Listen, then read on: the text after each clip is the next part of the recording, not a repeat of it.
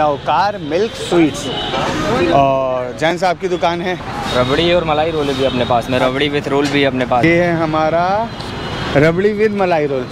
यह पूरा मलाई का आइटम है कुछ भी नहीं है मलाई के अलावा। कढ़ाई मलाई।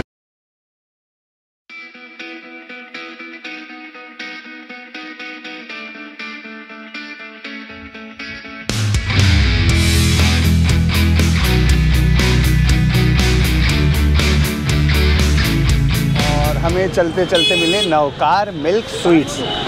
और जैन साहब की दुकान है तो चलते हैं जानते हैं कितनी पुरानी है क्या क्या है इनके पास और आनंद उठाते हैं जो भी है।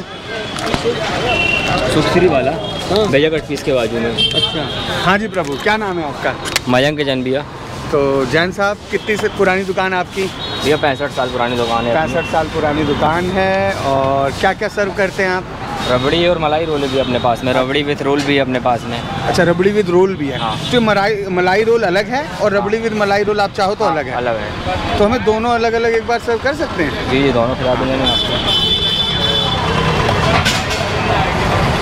ये रबड़ी विथ रोल है आपको। तो ये है हमारा रबड़ी विद मलाई रोल। जी अच्छा।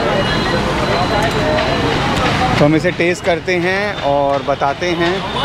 तो भाई आपकी जो शॉप है वो कितने बजे से कितने बजे तक रहती है? दुकान भैया साढ़े चार से रहती है ग्यारह बजे रात शाम को साढ़े चार। अच्छा। तो ये आपकी खुद बनाई है?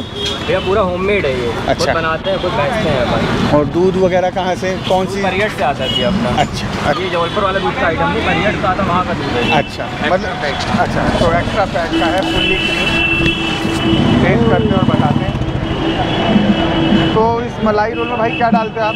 ये पूरा मलाई का आइटम है। उसमें कुछ भी नहीं है मलाई के अलावा। कढ़ाई मलाई। हाँ।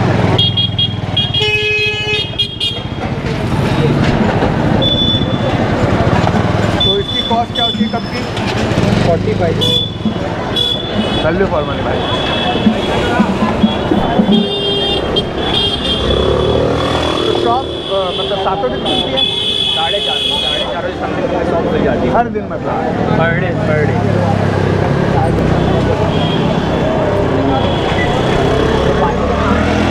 फोर्टी आपने बताया। Forty five forty five rupees में एक बेहतरीन टेस्ट आइए खाइए।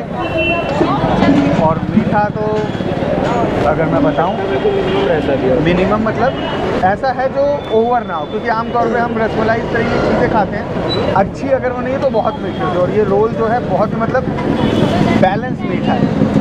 कढ़ाई हुई मलाई है एक्स्ट्रा फैट वाली है तो ये सोचती है लेकिन है क्योंकि मैं जैन बना रहे हैं तो ज़ाहिर सी बात है वेजिटेरियन आपको प्योर ही मिलेगा।